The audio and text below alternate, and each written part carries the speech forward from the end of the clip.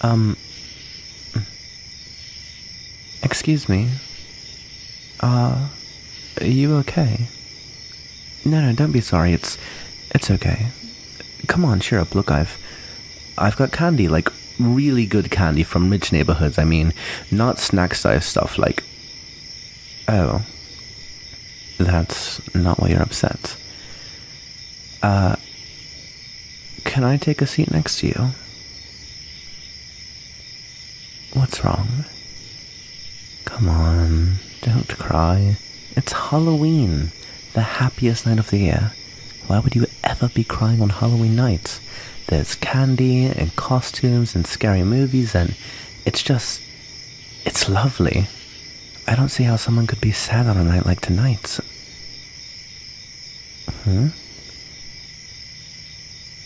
Some kids were bothering you. Were they uh, saying mean things or. I see. Kids are mean and stupid and. I'm sorry they ruined your Halloween. Here, take this. No, come on, take it. I know you're upset, but it's better to be upset eating candy than upset not eating candy. But really, those kids say they're stupid, and one day they won't be like this, I promise. See, some kids are just too boring and bland to have fun for themselves, so they tease other kids like you to make themselves feel better because really, they know how cool you are, and they're just too stubborn to admit it. They're just jealous. Mm hmm. That's how kids are. They know how fun and lovely you must be, and they're just mad that they aren't that fun, so they take it out on you. It's terrible, but hey, who needs them, right? They're mean, jealous little brats, and you, well, you're amazing. Plus, we have all the best candy. mm. I'm Ross, by the way. And you are? Oh, I like it. Well, nice to meet you. So, uh, if you don't mind me asking, those kids who mess with you, do you know their names? No. Are you sure? Okay, okay. No, no, I just. I just don't want them to mess with you again. Ever. I mean, really, you didn't even do anything to them, right? I mean, why were they messing with you in the first place? God. I'm so, so sorry. I just. I wish I could have stopped them from even seeing you. Punk kids. I hate it. Yeah, I. I know what it's like to be bullied. See, I'm.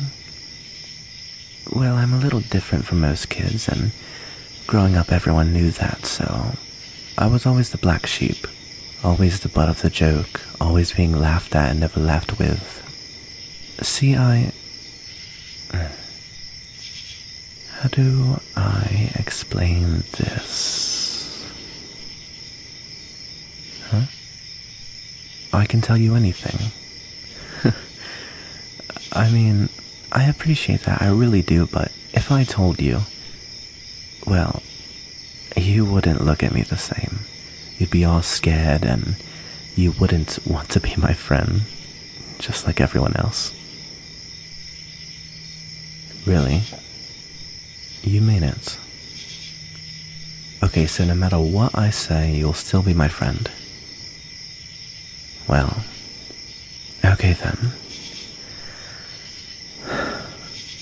See, I'm very, very different from literally everyone else I know. My family, they. Okay, you said you'd still be my friend no matter what I told you. So uh, are you are you still sure? Okay, okay. My family, they're killers. See, I'm a vampire. And, uh, well, yeah, that's what vampires do. My family hunts and kills humans in order to feed off of them. All of the kids at my vampire school do the same thing, and then there was me. I just. I couldn't do it. I mean, humans seem so sweet and innocent, almost like vampires, but, well, nicer.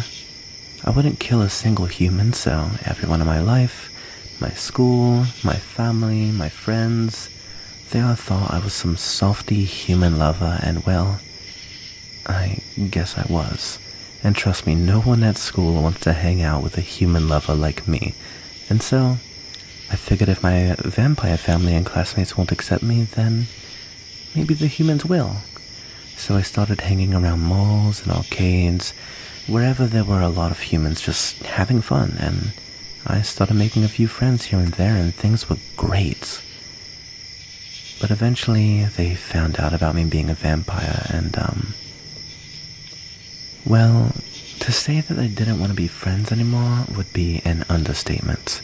I was yelled at, called names, they threw garlic at me, and they. They tried to stab me with wooden stakes, like. I. I didn't understand. I was open with them, I was honest, and they. They just. They hated me.